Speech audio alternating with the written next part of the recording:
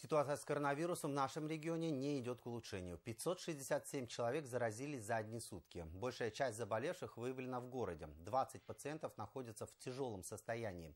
Четыре человека подключены к дыхательному аппарату. Для стабилизации ситуации проводится вакцинация. Уже ревакцинировались 19 815 жителей. Специалисты советуют твердо придерживаться всех мер профилактики.